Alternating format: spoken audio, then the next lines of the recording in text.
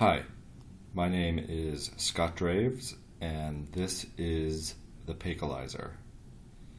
It's uh, video feedback implemented in WebGL, which is essentially JavaScript.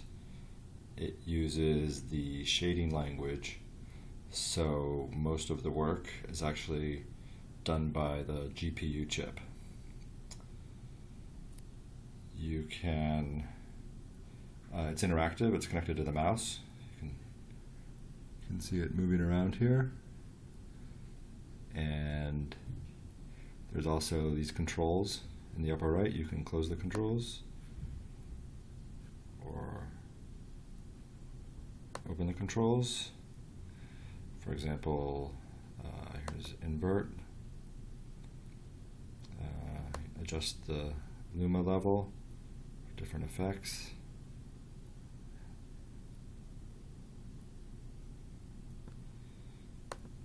Here's switching the Luma key from removing the uh, darker instead of the lighter areas.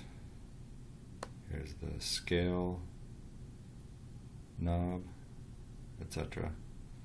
So one a control that's pretty interesting is the colorizer. So um, if you go up here, you click this button, you can change the colors in the image.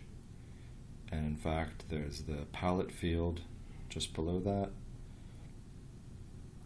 And if you go to, um, you can get the URL of any image from the web. So I'm just copying the URL of this uh, JPEG of roses.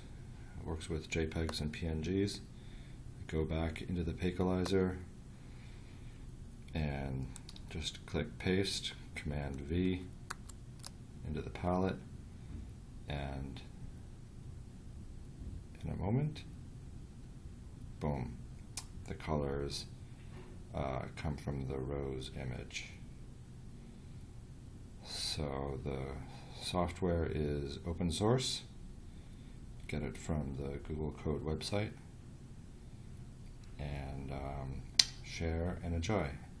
Thank you very much.